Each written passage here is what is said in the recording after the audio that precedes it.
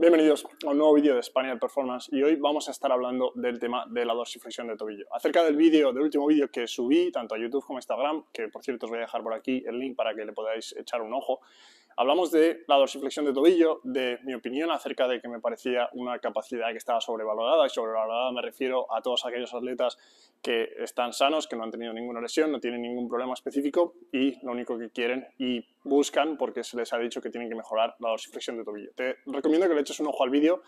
eh, en el que hablé de esto, porque explico bastante bien cómo funciona la dorsiflexión de tobillo, cómo la dorsiflexión de tobillo se eh, en muchos casos se intenta reducir a un solo movimiento dentro de la articulación del tobillo, pero hay muchas cosas que influyen dentro de esta, de esta dorsiflexión y de esta movilidad de tobillo, sobre todo en el trabajo con deportistas.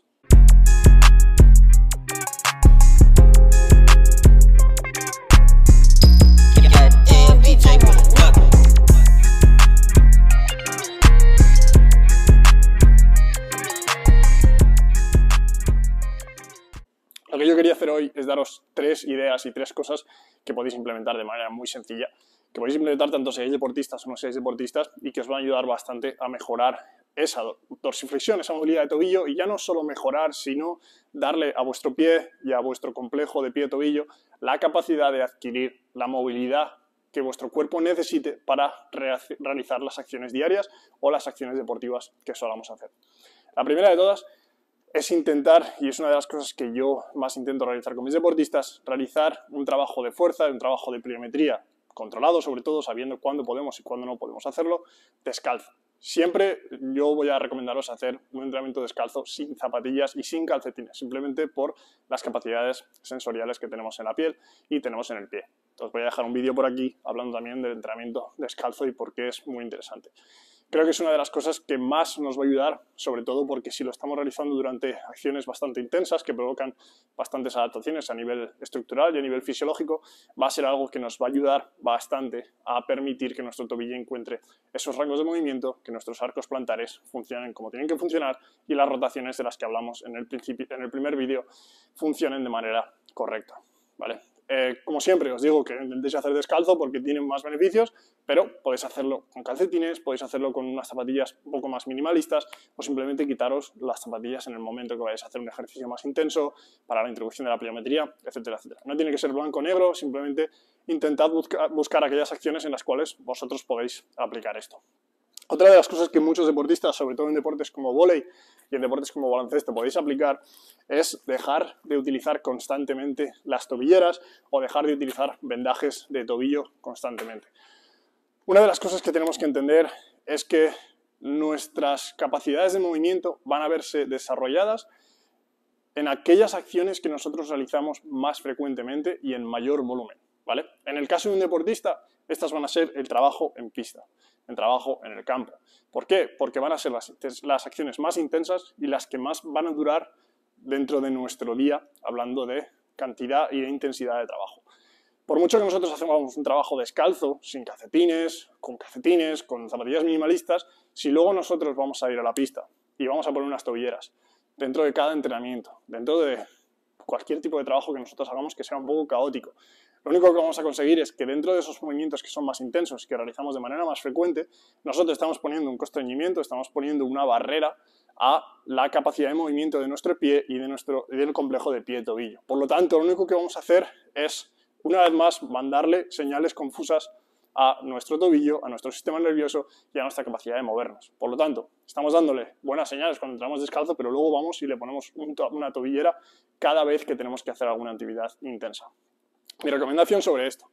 Va a haber momentos y etapas en las cuales esta tobillera va a ser necesaria. ¿Por qué? Bueno, pues porque queremos seguir compitiendo, el tobillo no está 100% seguro porque no hemos seguido un protocolo que deberíamos seguir dentro de la rehabilitación y la competición es así muchas veces y es lo que hay.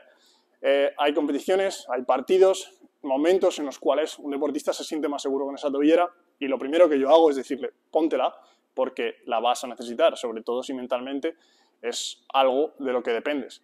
Lo que tenemos que intentar con estos deportistas es que poco a poco, si no es necesario, y podemos empezar a darle pequeños estímulos dentro de la pista sin necesidad de tener esa tobillera, vayamos introduciéndoles, porque lo que queremos es que las capacidades protectoras de, nuestra, de nuestro cuerpo se desarrollen de manera apropiada y de manera natural. Por lo tanto, intentar retirar estas barreras en muchos casos lo que va a hacer es ayudarnos a recuperar esa capacidad de movimiento natural que nosotros debemos tener para realizar las acciones que tengamos. Está claro que utilizando una tobillera nos vamos a adaptar a, a la manera de movernos con la tobillera y no tiene por qué ser peor ni mejor, pero sí que va a estar más limitado y va a ser una manera ligeramente más antinatural de movernos y no nos va a permitir alcanzar esos rangos o ese movimiento un poco más libre que buscamos. por último, hablando de las situaciones en las cuales pasamos la mayor parte de nuestro tiempo y es cuando sabemos que la gran cantidad de adaptaciones van a suceder en nuestro cuerpo, eh, lo que me gusta recomendar a mí es la, utilizar eh, un calzado que se asemeje lo máximo posible a lo que sería caminar descalzo. No me importa la marca, me da absolutamente igual, pero hay muchas marcas por ahí, marcas baratas, eh, no son las zapatillas normalmente que mejor lucen, digamos, pero sí que es algo que nos puede ayudar bastante, sobre todo, una vez más, hablando de todos los mecanismos que hemos hablado en el vídeo introductorio, para eh, aplicarlos a nuestro día a día, a caminar, a ir al trabajo, a ir al colegio, a ir a la universidad, a ir a los entrenamientos, etcétera, etcétera. Sabemos que tenemos que llevar algún tipo de calzado y que aparte de realizar nuestro trabajo intenso